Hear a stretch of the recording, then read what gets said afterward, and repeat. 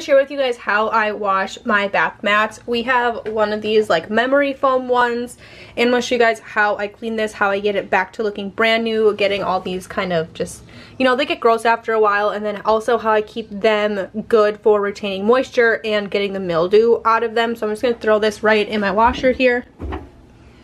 Next, I'm going to add in just a tablespoon or about a tablespoon of baking soda. Next, I'm going to put in a little uh, white vinegar right in where I would normally put my laundry detergent right in this one here and then I'm going to wash it as normal on a normal delicate cycle just to keep the integrity of the bath mat. You do not need a lot of vinegar for it to be effective, just a splash. So now I'm going to go ahead and put this on a delicate cycle, like I said, just to keep the bath mat intact. I'm going to go ahead and start this and then I'm going to let it air dry when it's done and I'll show you guys what the mat looks like after it's all done. Here is my bath mat. Now it's white, it's refreshed, it looks brand new and of course it really got rid of all that mildew smell and I really enjoyed this hack. So if this helped you, make sure you give this video a thumbs up and of course I'll see you guys in my next video.